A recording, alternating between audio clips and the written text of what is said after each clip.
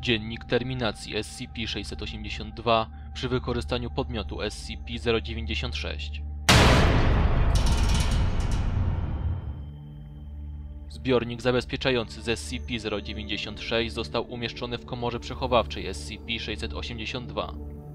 Personel opuścił obszar i zbiornik został otwarty zdalnie. Krzyki i ryki dwóch stworzeń były słyszalne przez 27 godzin, po czym gwałtownie ucichły. Podgląd oparty na sonarze ujawnił SCP-096 ciężko rannego, skulonego w południowo-zachodnim krańcu pomieszczenia, wyraźnie smutnego. SCP-682 widocznie z północnym krańcu pomieszczenia z około 85% ubytkiem masy ciała. Drużyna zabezpieczająca przechwyciła oba obiekty ze względną łatwością.